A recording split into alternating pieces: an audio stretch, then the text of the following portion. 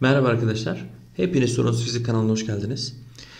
Egzersiz yayınları 2024 TYT Soru Bankası çözümleriyle devam ediyoruz. Aydınlanma konusu ikinci testimizdeyiz. Birinci soru. Noktasal K ışık kaynağı paralel paralel L ışık kaynağı bir saniye şöyle düzeltelim. Heh. Paralel ışık demeti yayan L ışık kaynağı perde önüne şekil 1 ve şekil 2'deki gibi yerleştirilmiştir.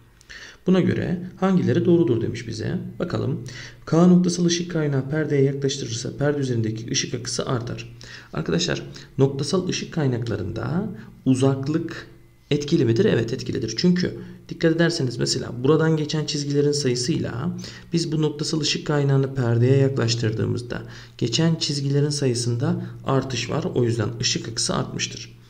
L paralel ışık kaynağı perdeye yaklaştırılırsa perde üzerinde aydınlanma şiddeti artar demiş.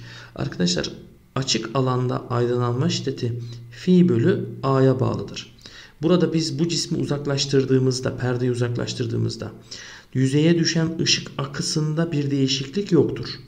Bundan kaynaklı yüzey alanımda da bir değişiklik yoktur.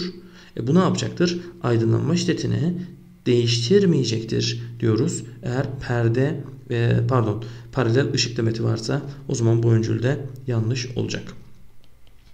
3. Şekil 2'deki perde kaynaktan uzaklaşırsa perde üzerine düşen ışık akısı azalır. Paralel ışık demetlerinde perde üzerinde düşen ışık akısında herhangi bir şekilde azalma meydana gelmez. O yüzden cevabım yalnız bir olmalıdır. Geldim ikinci soruya. Işık şiddeti I olan noktasal ışık kaynağı önüne üzerinde boşluk bulunan saydam olmayan engel şekil ekibi yerleştirilmiştir. Bu durumda perde üzerinde oluşan aydınlanma şiddeti E, ışık akısı F'dir. Buna göre hangileri doğrudur? Işık kaynağı yaklaşırsa, arkadaşlar ışık kaynağını engele yaklaştırırsam, bakın buradan geçen çizgilerimde artışlar meydana gelecektir. Şöyle gidecektir bu çizgi. O zaman perdedeki çizgi sayısı bakın şuradaki aralıklardaki çizgi sayısında artış olur. O zaman fi artar.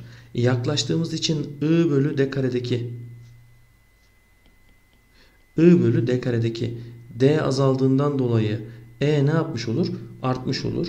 Birinci öncül doğru olur. Engel perdeye yaklaşırsa diyor. Bakın engeli perdeye yaklaştırırsak şurayı sildim. Bu sefer engeli perdeye yaklaştırırsam benim kaynağımın engeli şuraya getirdiğimi düşünün şöyle. Benim kaynağımın perdeye engele olan uzaklığı arttığı için e, bu sefer e, fi değeri yani açı değerinde azalma meydana gelecektir. Fi azalacak. Peki aydınlanma şiddetinde perdeye olan uzaklığımda bir değişiklik olmadığı için aydınlanma şiddeti değişmeyecek. Perde engele yaklaştırılırsa Arkadaşlar perdeyi engele yaklaştırdığımızda buradan geçen çizgi sayısında herhangi bir değişiklik olmayacaktır. Fi değişmez. I dediğimiz şey kaynağa bağlıdır. Kaynağı değiştirmediğimiz için bu da değişmeyecek. Cevabımız E seçeneği olur. Geldim 3. soruya. Yarı çapı R olan O merkezli içi boş kürenin içinde K noktasına yerleştirilen noktasal I ışık şiddetindeki kaynağın küre yüzeyindeki ışık akısı fi. P noktasındaki aydınlanma şiddeti ise E'dir demiş. Şimdi bakın buradaki bir cismin şuraya olan uzaklığıyla burada normalle yapmış olduğu bir alfa açısı var. Buraya dikkat edelim. Ee, K noktasından O noktasına çap boyunca getirilirse. Arkadaşlar bunu kaynağı şuraya getiriyoruz. Buraya getirirsek bu sefer P'ye olan uzaklığım dik uzaklık olacak. P'ye olan dik uzaklığım olduğu için, dik uzaklık olduğu için e, doğal olarak benim E ele aydınlanma şiddetim ne yapacaktır? I bölü D kare halini alacak. Bu durumda E artmış olacaktır. Peki ışık akısı ne olacak?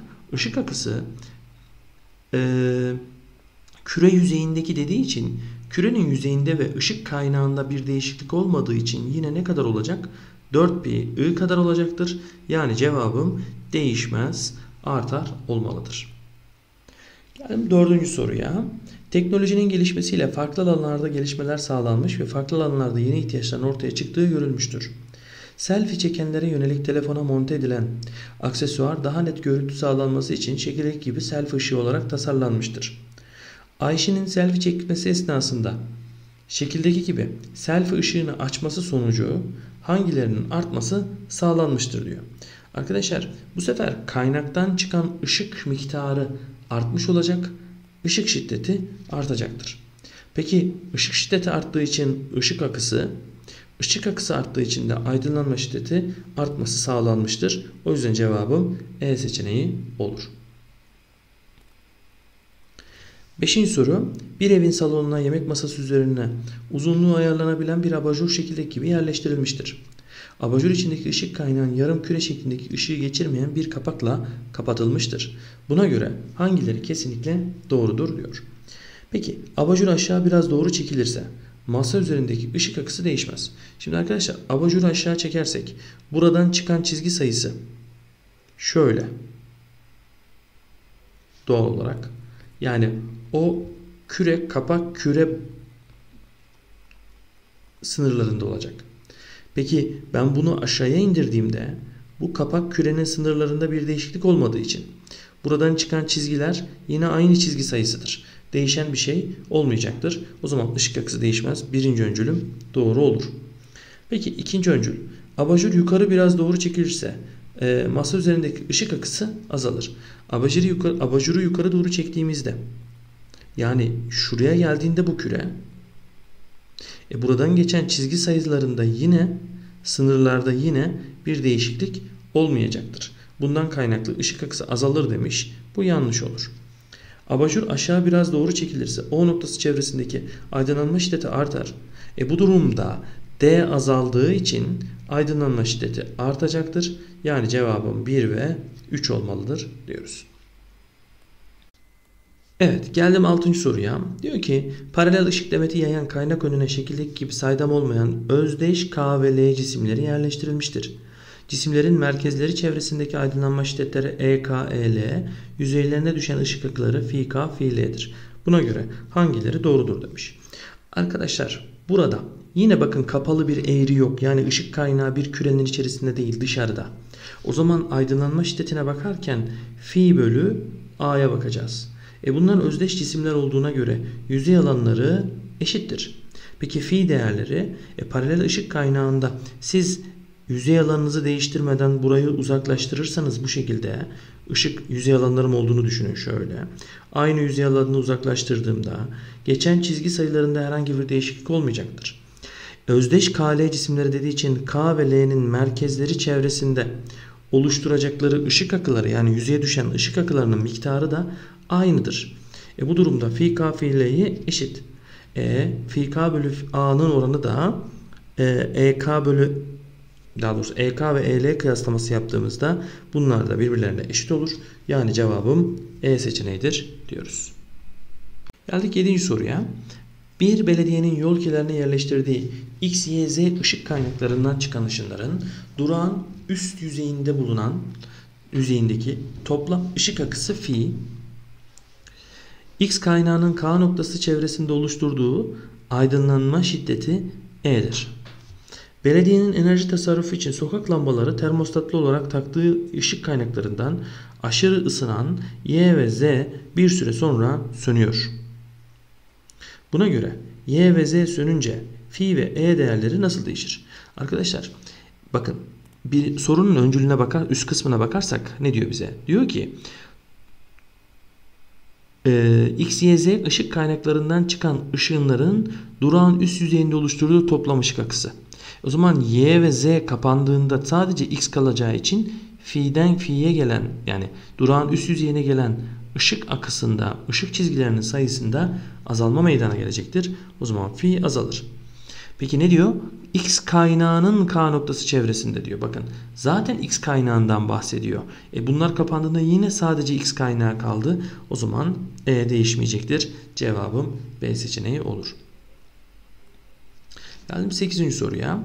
İçi boş kürenin yüzeyi merkezine ışık şiddeti I olan yarıçapları e, noktasal ışık kaynağı yerleştirmiştir. Pardon. Küre yüzeyine düşen ışık akısı fi K noktası çevresinde oluşturulan aydınlanma şiddeti E'dir. Hangileri doğrudur diyor bize. Kürenin yarı çapı küçültülürse arkadaşlar küre büyüse de küçülse de kapalı yüzeylerdeki ışık akısı 4pi I olduğu için I'da herhangi bir değişiklik yapmadığından dolayı fi değişmez olacak. Peki kürenin yarı çapı büyürse, kürenin yarı çapı büyürse şuraya olan uzaklığım şu an r idi, k'ya olan uzaklığım. Yani aydınlanma şiddetim I bölü R kareydi. Ama R'yi ne yapıyoruz? Artırıyoruz. O zaman aydınlanma şiddeti azalacaktır. İkinci öncül doğru olur. 3. Kürenin yarıçapı küçültülürse I artar demiş. Kürenin yarıçapı küçültülürse kaynak değişmediği süre içerisinde I'da herhangi bir değişiklik olmayacak. Bundan dolayı cevabım B seçeneği olur. Evet arkadaşlar testimizi bitirdik. Bir sonraki testte görüşmek üzere. Abone olmayı, arkadaşlarınıza kanalımızı önermeyi unutmayın.